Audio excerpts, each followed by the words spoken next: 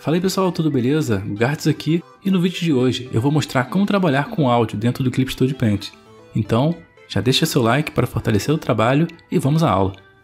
Primeiramente, vamos aprender a como importar um arquivo de áudio dentro do Clip Studio. Vamos criar um novo projeto de animação, clicando em File, New, na Animation e OK.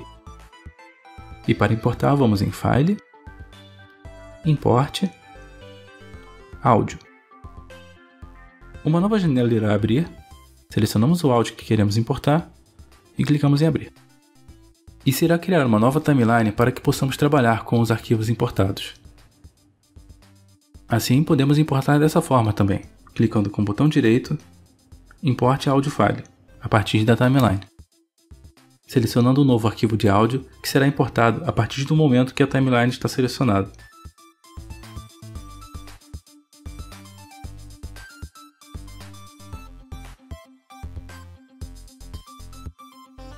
É possível também importar mais de um arquivo de uma vez. Assim eles serão importados em sequência.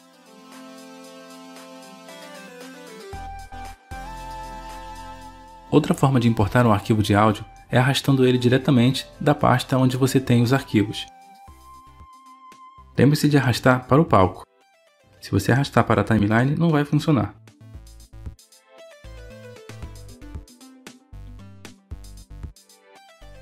Para criar e importar uma nova camada de áudio, é necessário selecionar uma camada diferente e executar o mesmo processo de importar. File, Import, Áudio.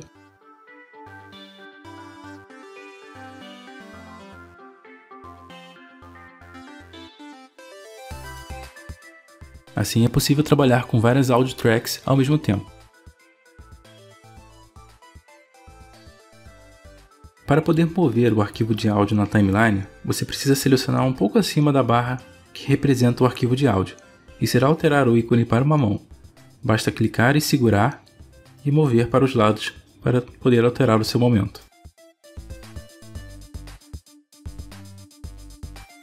Clicando no início ou no fim do áudio é possível alterar a sua duração. Basta clicar e segurar para diminuir ou aumentar o momento.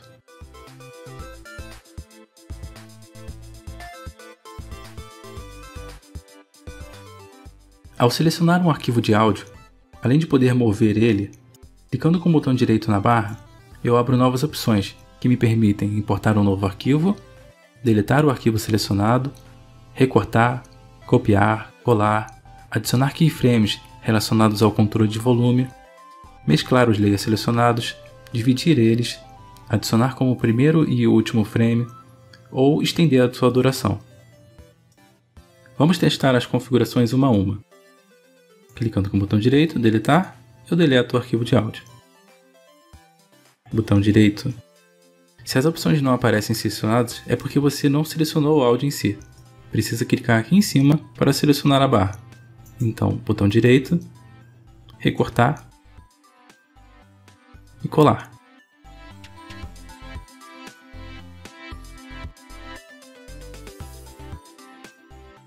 Copiar colar.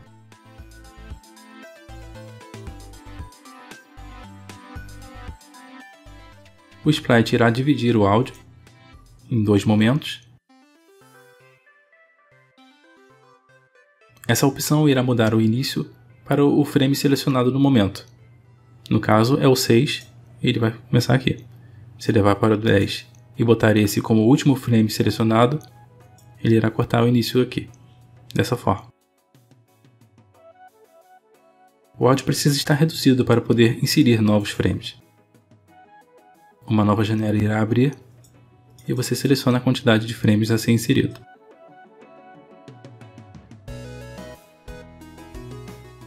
O deletar irá apagar a quantidade que você indicar. Caso você insira antes do arquivo de áudio começar, ele irá empurrar o arquivo de áudio para frente. O mesmo acontece com deletar. Ele irá puxar o arquivo de áudio. Usando a ferramenta Operation subferramenta Object, é possível alterar o volume com as configurações da ferramenta. Toda alteração de volume irá criar um keyframe, no momento que a timeline estiver selecionada. Por exemplo, se eu mudar aqui para o frame 10 e colocar um novo valor, ele irá criar um novo frame automaticamente. Caso queira deletar os keyframes, basta clicar com o botão direito Delete All Keyframes. Cada áudio importado tem um volume único, então se eu tiver mais de um áudio importado,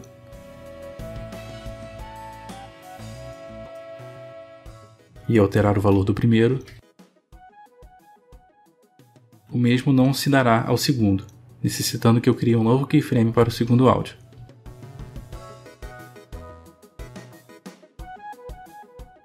Quando criado dois keyframes com valores diferentes, o programa automaticamente cria uma interpolação, mudando seu valor dependendo da forma que ele está sendo interpolado.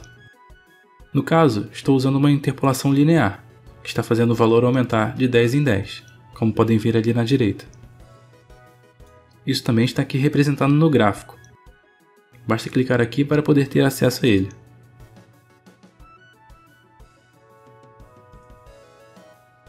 Clicando com o botão direito, eu posso alterar a interpolação para Smooth ou Hold. Hold mantém o valor selecionado até o próximo valor criado.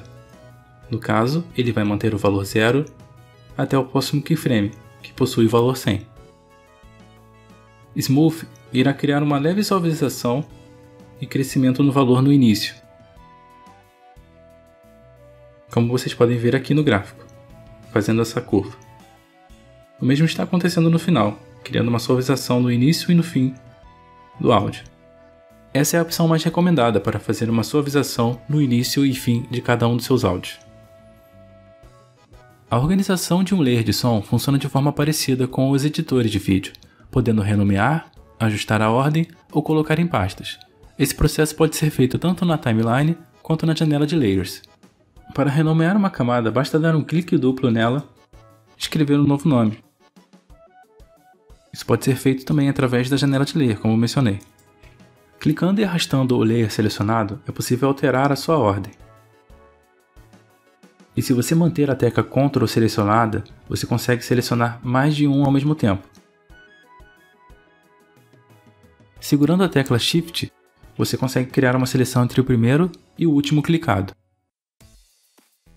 Ao selecionar vários arquivos, basta clicar com o botão direito e clicar na opção Create a Folder and Insert Layer para criar uma pasta e jogar todos esses layers selecionados para dentro dela. Assim você pode colapsar a pasta, renomear ela e manter uma organização. Agora vamos ver o que aprendemos em prática nessa pequena animação que fiz como uma demonstração.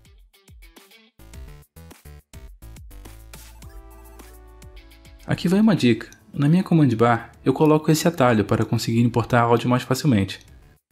Caso você não sabe como fazer isso, basta clicar com o botão direito aqui, Command Bar Settings, uma nova janela vai abrir. Você vai em File, Import, Áudio e clique em ADD.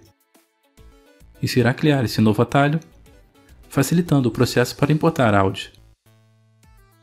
Vou importar o áudio que representa o som de pulo.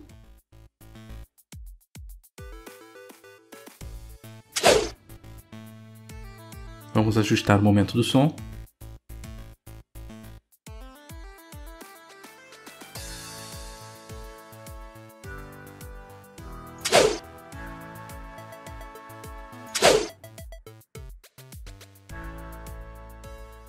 E agora vamos colocar um pequeno áudio nesse momento aonde ele entra em contato com o chão novamente.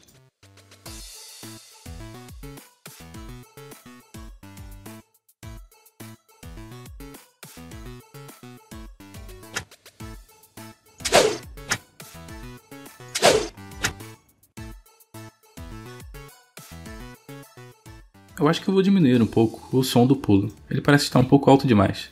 Então, basta clicar aqui no início com a ferramenta Operation, Object, eu vou no volume, talvez a metade, 50.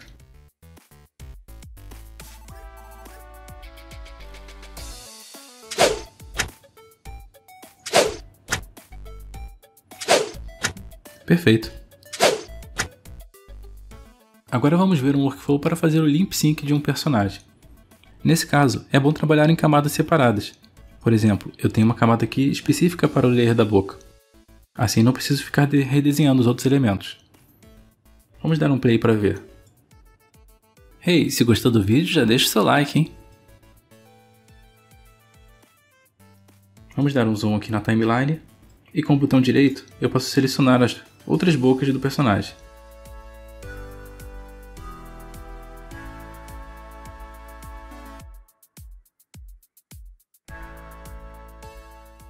Uma dica que eu dou é você colocar auto actions para facilitar o seu workflow. No caso, eu tenho selecionado as minhas teclas para poder alterar as bocas, sem precisar ficar selecionando manualmente uma de cada vez. Isso facilita bastante no trabalho.